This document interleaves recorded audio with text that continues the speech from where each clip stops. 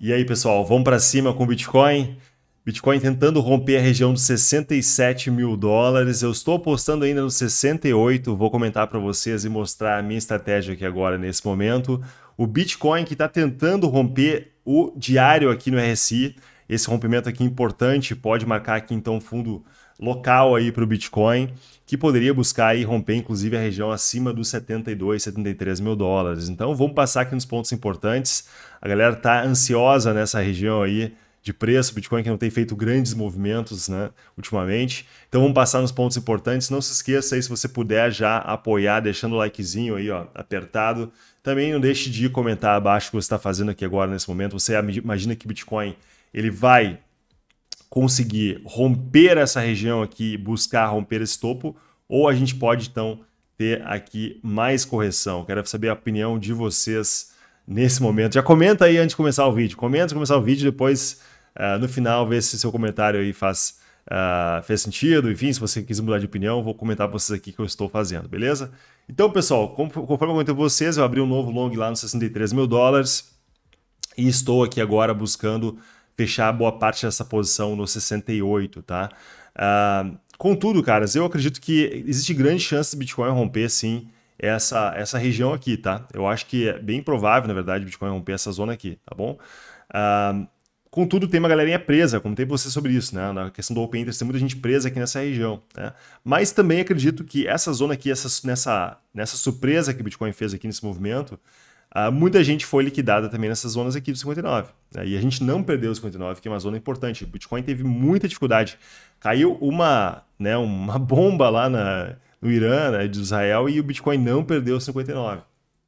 Tá? E aqui nessa, nessa zona também de preço, a gente não está vendo, não tô vendo grandes volumes aqui, tá? Uh, spikes aqui nessa região, então acredito que Bitcoin poderia ir mais acima. Tá?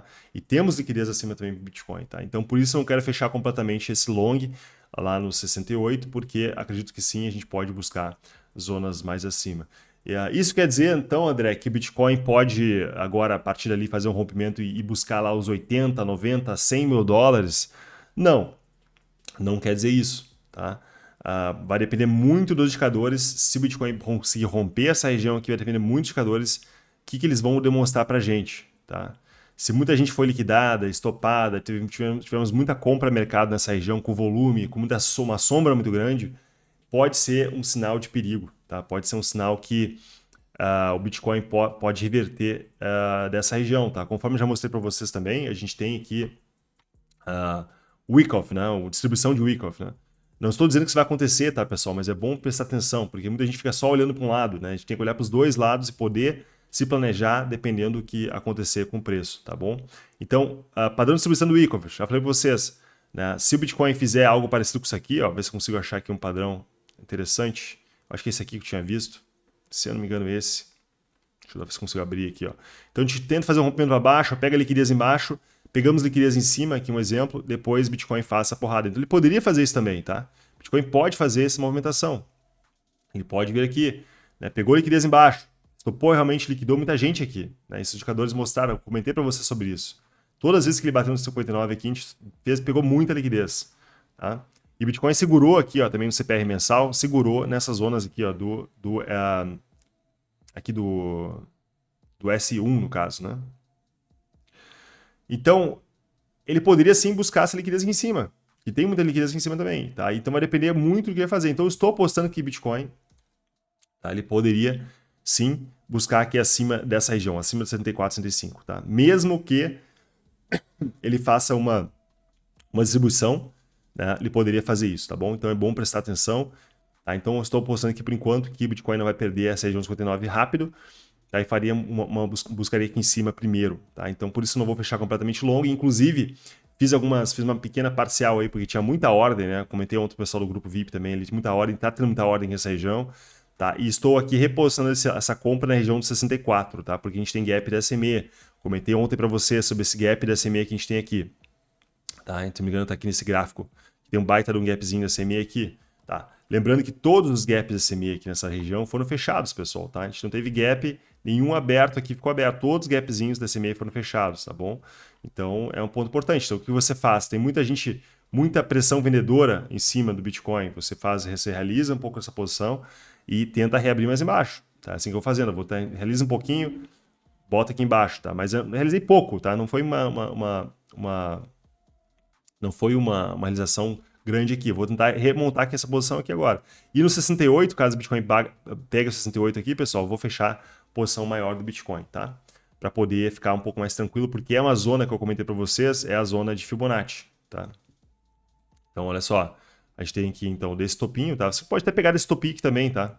É uma forma de fazer. Eu acho pegar aqui esse último topo, tá? Então, fundo aqui, a gente tem a região de Fibonacci, tá? A região de 68 mil dólares, tá? Então, acredito que a gente pode pegar um pouquinho acima, aí para próximo de 68.200, por ali. Bitcoin poderia buscar. E ali é uma, um ponto de decisão importante do preço, né?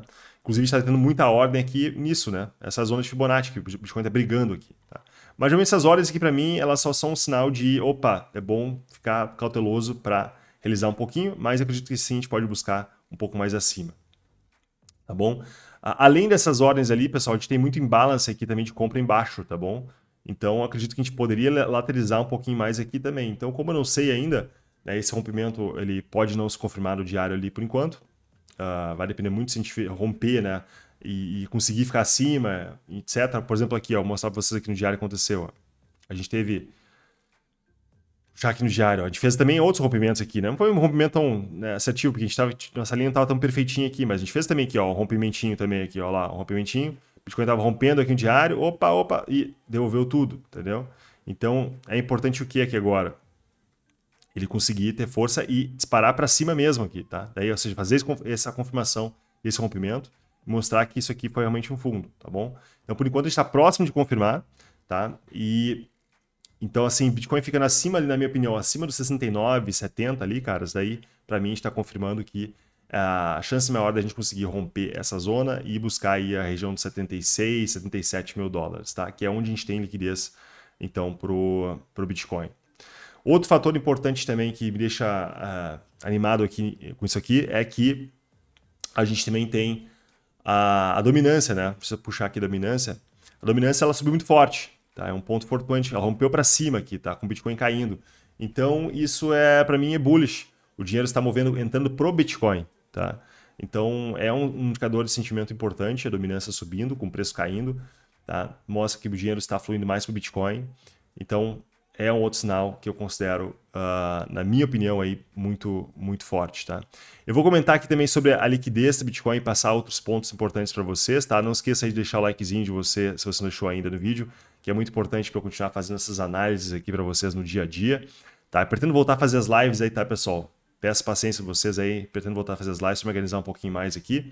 Uh, só um recado importante também, se você tem experiência no mercado futuros, crie essa conta aí na corretora PrimesBT, que está apoiando aqui também o meu canal. Tá? Então, vou deixar o link para vocês aqui abaixo no comentário fixado também na descrição do vídeo. Tem bônus de até 7 mil dólares tá? de depósito, 7% do valor do seu depósito, até 7 mil dólares uh, na plataforma do Futures. E você também pode operar não só uh, Bitcoin, criptomoedas, como também Forex, commodities, tá?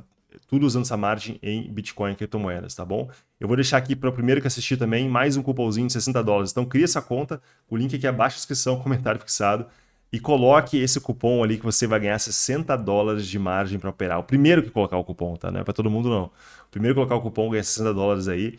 E vou sortear nesse comentário aqui, nesse, nesse vídeo, mais um cupom de 60 dólares. Então comenta aí abaixo o que você está fazendo em relação ao Bitcoin, que eu vou sortear.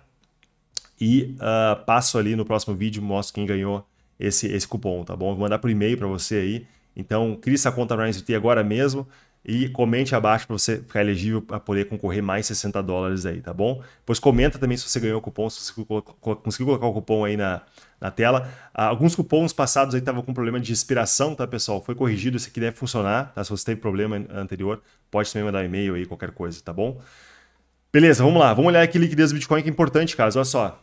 Uh, o Bitcoin, aqui, no, aqui no mês, né? A gente tem muita liquidez na região de 66, 67, tá? Então, se a gente buscar romper aqui a região dos 69, cara, na minha opinião, uh, aquela teoria do pessoal preso ali, que, que, que o pessoal que está preso, né? Uh, poder ter se liquidado aqui, eles podem não, uh, no caso, não travar ali, né? não acabar eles uh, saindo fora de jogo e o Bitcoin poderia pegar os 66, 67, tá?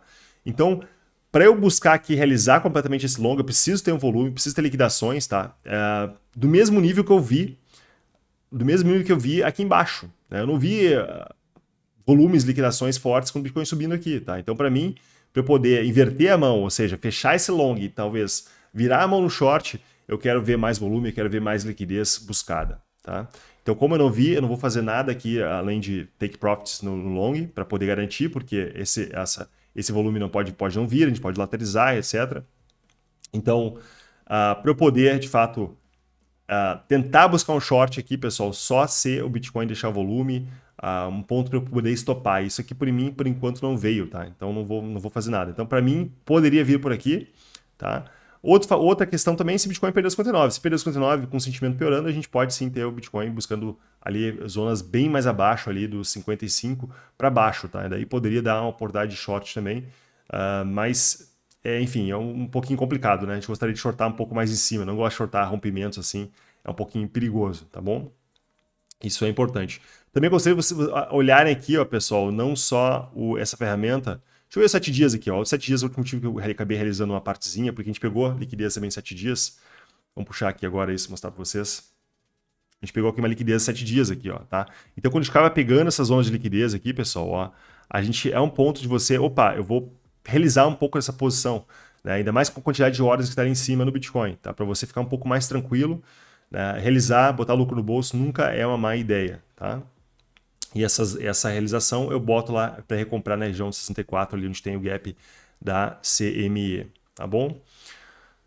Uh, outros pontos importantes que também esse indicador que você pode usar também aqui, ó, o indicador da, do uh, CoinGlass, aqui mostra também pontos de liquidez. Tá? Então aqui a gente tem a liquidez aqui nessa região de 67, aqui até a região de 68, nesse indicador. E outra coisa interessante esse indicador aqui mostra também que é os mapas de liquidação do Bitcoin. Tá? E aqui você pode puxar dos 30 dias, a gente pode ver que a, a, tem muita liquidez em cima aqui, ó. A região de 71 para cima aqui, pessoal, tá? Tem bastante liquidez também, tá? Então, assim, por isso que eu não vou ficar aqui tentando fechar, tentando fazer um short em Bitcoin naquela região ali, tá? Porque o que acontece, ó? Se a gente puxar aqui nosso, nossos indicadores, ó, do trading, do, do, do CoinAlyze, lembrando que essa ferramenta aqui é gratuita, tá? Se você quiser uh, usar ela, tem os links no meu site lá, na drefalt.com.br ferramentas, tem todas as ferramentas que eu uso aqui, tudo que os meus vídeos estão lá, Tá? E se você quiser aprender elas, também tem conteúdo para membros, tá bom? Então dá uma olhadinha no meu site lá e também considere se tornar membro do canal para você apoiar a criação de cada vez mais conteúdos uh, né, nesse sentido, tá bom? Então, aqui ó, nessa porrada que a gente fez, a gente pegou muita liquidez. Olha só a quantidade de liquidações, tá? Aqui são as liquidações concorreram de longs, ó, e muita venda mercado aqui embaixo, tá vendo acontecendo? Então, eu precisaria ver algo parecido para poder buscar um, um, short no Bitcoin. Uh, mais liquidez, mais, mais shorts sendo, sendo uh, liquidados e mais compra mercado. Tá? Essas compras mercados, as compras mercado poderiam vir aqui em cima, tá? Então, se o Bitcoin deixar uma sombra, né? se o Bitcoin acabar deixando uma sombra muito forte aqui, ó, e vir aqui em cima, deixar uma sombra muito forte, ó, eu vou ter ponto, eu vou ter um ponto até onde estopar, tá? Só que aqui vai ser uma, um, um, momento tenso, né? Que se acontecer isso, porque a gente poderia dizer também que Bitcoin rompeu e está retestando a zona para continuar o movimento, né? Então, essa é a questão toda. Então, aqui vai ser com certeza uma é, que vai ser importante se o Bitcoin fizer, tá? Mas aqui eu não vou shortar, cara. Tá? Apesar dessa tendência aqui, ó, uh, né, o Bitcoin testando, perto de 68, eu não vou, não vou shortar, vou só realizar essa operação de compra, tá? E esperar para uma oportunidade. Se ela vier, eu visarei ali, principalmente lá no grupo VIP do Discord, caso tomar uma, alguma atitude diferente em relação aqui ao Bitcoin, tá bom? Um, Caras, eu acho que basicamente isso. Eu queria comentar rapidamente vocês aqui sobre outros pontos, né? Que seria. Uh... Cara, o Ethereum não tem, não tem muito falar com vocês do Ethereum, tá? O Ethereum. Uh, não estou fazendo muita coisa no Ethereum aqui, não. Tentei botar umas ordens de compra aqui mais embaixo, acabou não pegando no Ethereum. E... Mas acredito que ele deve subir se o Bitcoin acompanhar junto aí, tá? Então, Uh, lá no grupo VIP Discord, se você estiver participando do grupo VIP, se você quiser ver a liquidez do, do ETH, a gente pode passar para você lá. Então, pode perguntar para a gente ali no, no, no, grupo se você precisar, tá bom? Mas aqui no ETH não estou fazendo muita coisa, aqui não estou realmente mais interessado em fazer exposição no Bitcoin, buscar compra no Bitcoin aqui, porque com a dominância subindo assim, a gente pode ver né, o Bitcoin ele performando muito melhor aí que diversas altcoins, né?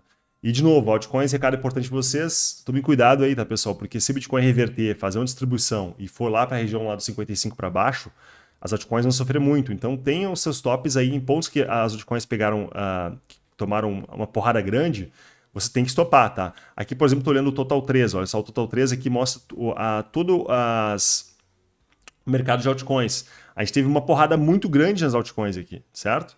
Então, basta você olhar todas as altcoins que você estava aí, no caso, né, operando, etc., comprado, e ver o ponto que ela formou um ponto, uma zona de uh, uma porrada muito grande, né?